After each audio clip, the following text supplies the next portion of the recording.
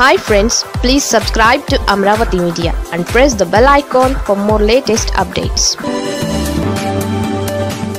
Tirumala laddu వివాదం చంద్రబాబు మెడకు చుట్టుకుంటోందా? తిరుమల లడ్డు ప్రసాదం వ్యవహారం తమ మెడకు చుట్టుకుంటోందని ముఖ్యమంత్రి చంద్రబాబు గమనించారు. అందుకే ఆ వ్యవహారానికి ఎలాగైనా ఫుల్ స్టాప్ పెట్టాలని ఆయన సీరియస్గా ఆలోచిస్తున్నారు. అయితే ముగింపు ఎట్లా పలకాలనేది ఆయనకు అంతు చెక్కడం లేదు. ప్రపంచవ్యాప్తంగా హిందువులు అత్యంత పవిత్రంగా భావిస్తున్న తిరుమల ప్రసాదంపై పెద్ద కొండన వేసిన చంద్రబాబు రోజులు గడిచే కొద్దీ తన వైపు వేళ్ళు చూపుతుండడం ఆయనకు ఇబ్బందిగా మారింది. మరోవైపు వైసీపీ నేతలు సిబిఐ సుప్రీంకోర్టు జడ్జి విచారణకు డిమాండ్ చేస్తున్నారు. అంతేకాదు టీటీడీ మాజీ చైర్మన్ భూమన కరుణాకర్ రెడ్డి తిరుమలలో స్వామివారి ఆలయం ఎదుట తాను ఎలాంటి తప్పు చేయలేదని సత్యప్రమాణం చేయడం చర్చనీయాంశమైంది.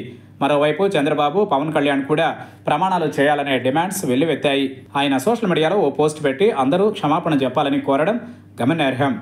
చంద్రబాబు తెలివిగా లడ్డు ప్రసాదం వ్యవహారాన్ని దేవునికే వదిలేసి చేతులు దులుపుకోవడం విశేషం. మనమంతా ఉండి కూడా భగవంతునికి ఇలా అపరాధం జరిగిందని బాధగా ఉందని పేర్కొన్నారు. అందుకే అందరూ భగవంతుడికి క్షమాపణ చెప్పాలని సూచించారు. ఇక భగవంతుడే చూసుకుంటాడని ఆయన పేర్కొన్నారు. భగవంతుడికే వదిలేయడం చూస్తే ఇక ప్రభుత్వం పట్టించుకోదనే సంకేతాల్ని ఆయన ఇచ్చినట్లయింది. ఇదే పోస్టులో తన ప్రత్యర్థి వైఎస్ జగన్ మత విశ్వాసాల గురించి కూడా ఆయన ప్రస్తావించారు. శ్రీవారిని జగన్ దర్శించుకోవచ్చని కానీ దేవునిపై నమ్మకం ఉందా లేదా అనేది ముఖ్యమని ఆయన పేర్కొన్నారు.